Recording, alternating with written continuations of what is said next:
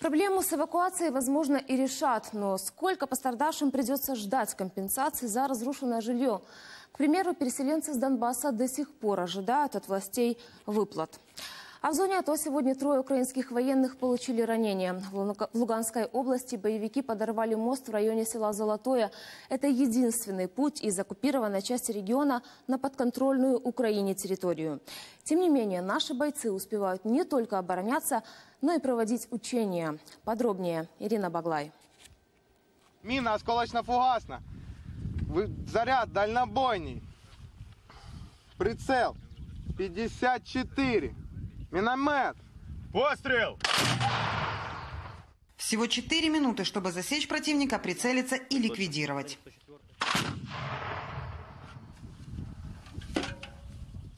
Стрельба из миномета 82 миллиметрового калибра до условного врага 800 метров. Орудия бьют прямой наводкой. Боевой командир артиллеристов признается, с 2014 года в зоне АТО, к счастью, такой огонь вести не приходилось. Но учитывая ситуацию на фронте, десантникам нужно быть готовыми ко всему.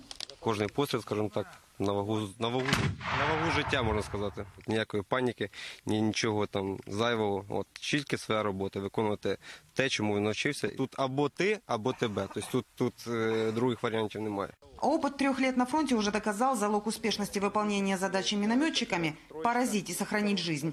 Это навыки пехотинцев. Міномет повинен бути вкопаний. Друге це маскування міномета. От, тобто, тобто противник, коли висувається, він візуально не бачить, звідки буде вести стрільба. Вот поворотный механизм. Нежный. Василек же. Здесь это прицельные приспособления.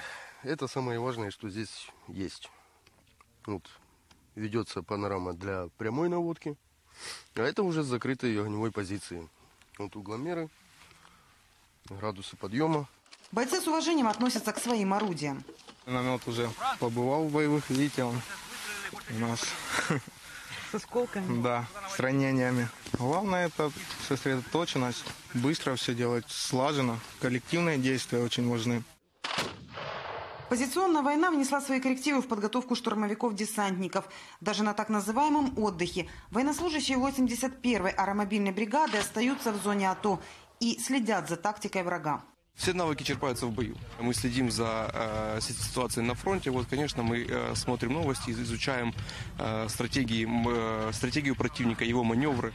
Э, конечно, мы стараемся учитывать э, в своих занятиях именно вот эти особенности войны. Артиллеристы в полной боевой готовности в случае приказа «Вперед!». Ирина Баглай, Андрей Костюк, Анатолий Воробей из Донецкой области. Подробности телеканал «Интер».